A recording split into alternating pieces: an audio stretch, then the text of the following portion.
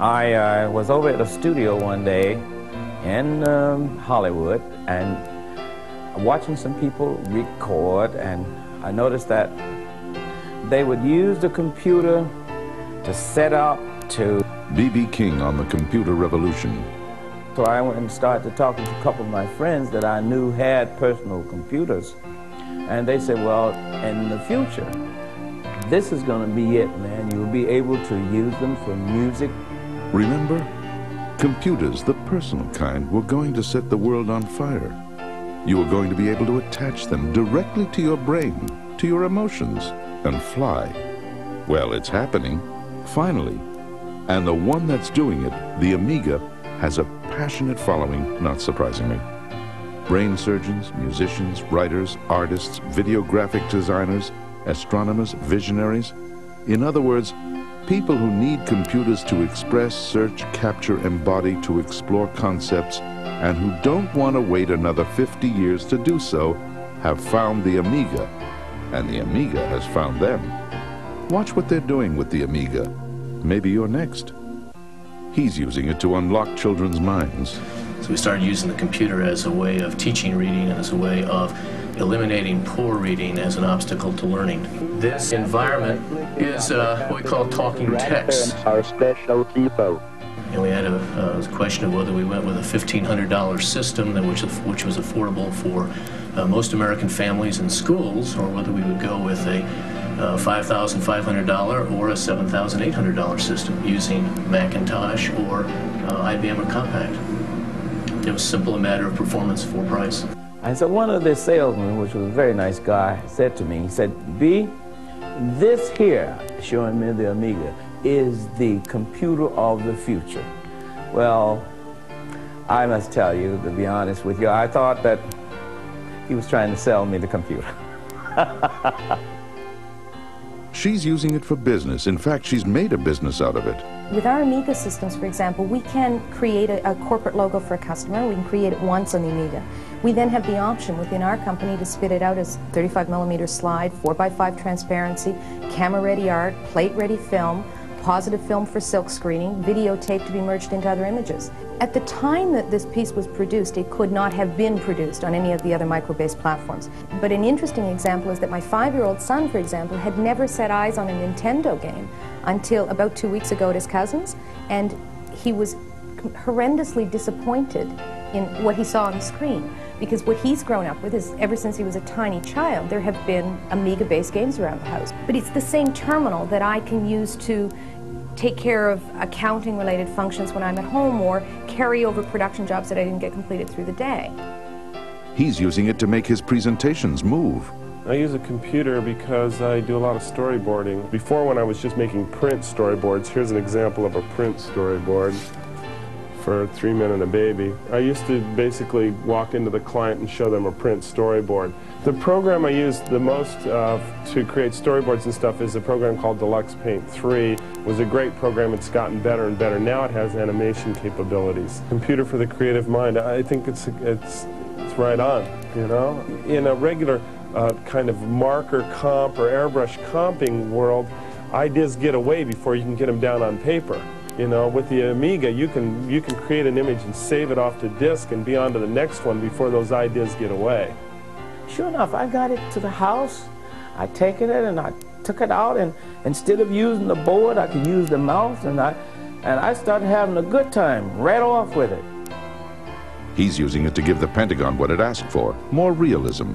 We can put a person into any world we choose, whether it be an airplane or a car or a boat or a spaceship. Uh, the Amiga is a fantastic machine for doing those kinds of things. For example, um, in this case, here we have uh, showing the dashboard.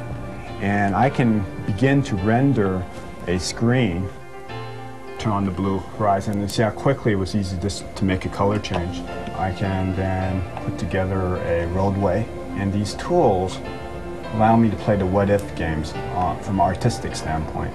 White line down the middle. What I'm doing here is creating a world.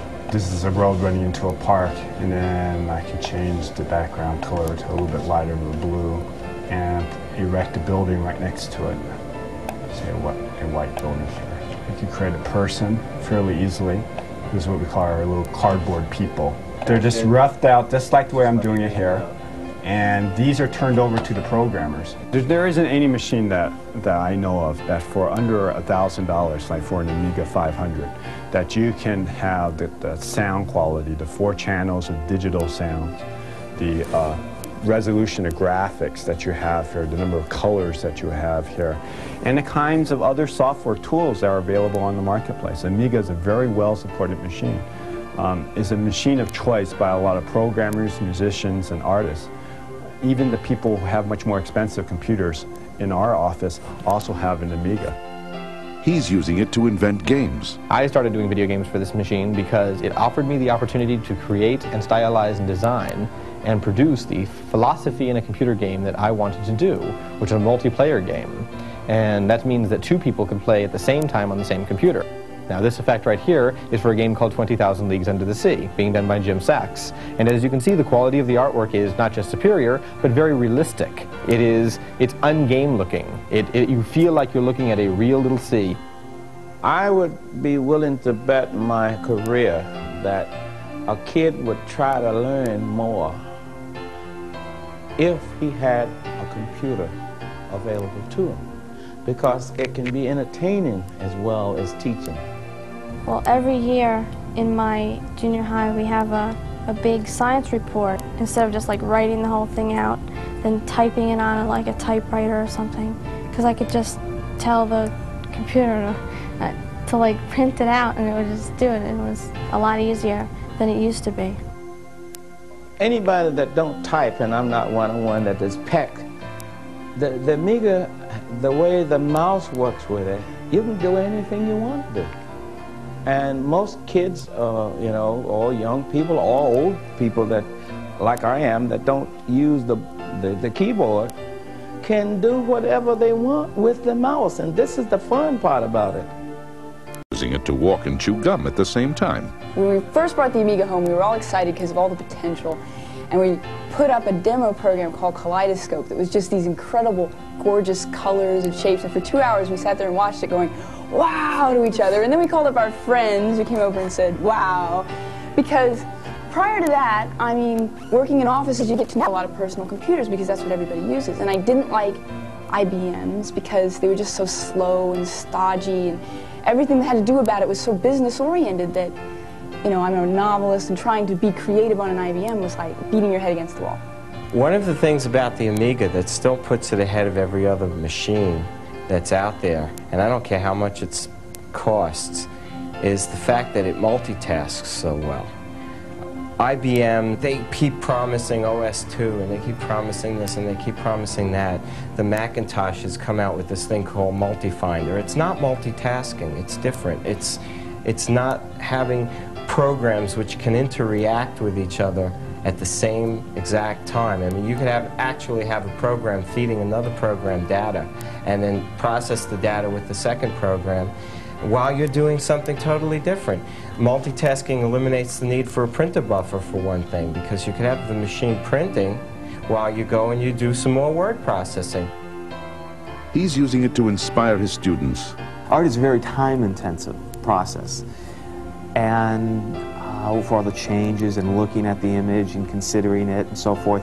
And a lot of the, the process needs to be able to accommodate you know, inspiration, which means that a person needs to say, aha, I have an idea, and be able to go right to their system. This was a uh, exercise from the intro class uh, using um, paid software. This is from the 3D class. This is from the uh, intro class, building objects from primitive forms. This is where we introduce the students to 3D computer graphics. In order to produce these type of graphics on any system, it would cost you two to three times what it cost you to do it on the Amiga. It's a funny thing about the computer, it's kind of like uh, pilots that fly. I'm a pilot. I like um, musicians, you know. When you find one chord, you say, man, did you try that dominant 7 chord? You know, same thing with the computer. You start to fool with it and every, you want to share it with your friends. So I started talking then with, I never did learn, still haven't learned computer talk as some do, but I get my question over, how do you do this? And they started to show me And that's when I fell in love with the Amiga computer. He's using it to explore the oceans. We needed some way to superimpose um, relevant inf information that the vehicle is heading, how deep it is, uh, things of that nature. We wanted to display it directly on the screen so that the operator, while he's, we call it flying the vehicle, is operating the vehicle, he can, without taking his eyes off the screen where he's driving, he can tell where he's going and how, how deep he is. With the Amiga, we found that you know, here at Deep Ocean Engineering that it's so easy to create graphic images and really helps to get your ideas across. He uses it in his whole life. The Amiga finds its way into every nook and cranny in our business and in our home. Uh, just as an entertainment uh, computer, I mean, there is nothing better to play games on if you, if you like games. I particularly like a lot of the flight simulator games. I am a musician also, so I've got a, a great variety of the, of the sequencing software for, for music, and we've got it hooked up with, with a PostScript laser printer, which gives us typeset quality output. In the area of ray tracing and 3D animation, when this computer first came out, it absolutely stunned the video industry and the computer industry because this they thought was not possible on a computer that was less than several hundred thousand dollars. We've used um, other computers, uh, IBM computers, Mac computers, uh, certainly the Amiga, and other uh, video specialty computers. Uh, such as a, a, Dubner and a Paintbox and an Alias. Uh, we use all of those in our work, but, but I would say that what we have found for the Amiga is that because of its price, performance, it's, it's enabled a whole class of corporate users to use the Amiga to use computer graphics and animation that previously couldn't. I edit uh, my professional productions at some of the top video editing facilities in New York City. And I am the only one that they allow to bring an Amiga into a professional video facility. And when I do, there is a crowd that gathers in the edit suite. Because here are people used to seeing computers that cost a quarter of a million dollars, and they say this, they see this outperforming it. And they can't believe it. He's using it to sustain a legend. If you have an idea that you want to create something and if you're like I am, uh, that have an arranger, and I can't tell him exactly what I want. I can't say, like, I want this chord to sound like this or sound like that. I can put it in the Amiga, and the Amiga will tell him, because it will play it the way I want it. I can't write real good, but I can peck out or take my guitar. I got my fingers in the position on, on Lucille here, and I'm holding it here, and I got this hand on the Amiga, and I'm going with that because I know this is what I want, that's what I want, this is what I want, and I put it in the Amiga, and the Amiga plays it back.